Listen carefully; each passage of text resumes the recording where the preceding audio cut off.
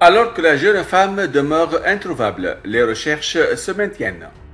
Les enquêteurs s'interrogent sur la possibilité que Lina ait pris place dans un véhicule, en particulier ceux de modèle Renault Clio de teinte sombre.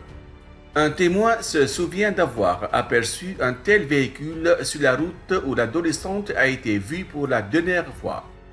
Parmi les véhicules suspects, on retrouve celui appartenant à un professeur de musique âgé d'environ 40 ans potentiellement présent près des lieux de la disparition de Lina.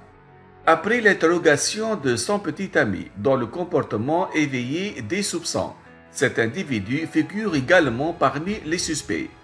Il a été entendu lors d'une audition libre le samedi 30 septembre et aurait donné des réponses énigmatiques. Une perquisition a été menée à son domicile le lendemain sans succès. Les enquêteurs attendent désormais les résultats des analyses génétiques. Pour l'instant, aucune preuve ne permet de le mettre en cause.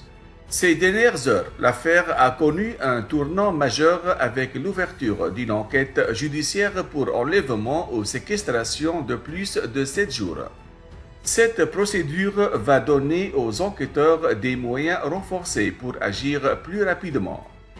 Alors que plus d'une semaine s'est écoulée depuis la disparition de Lina, une autre adolescente a déclaré avoir été abordée deux fois par un homme.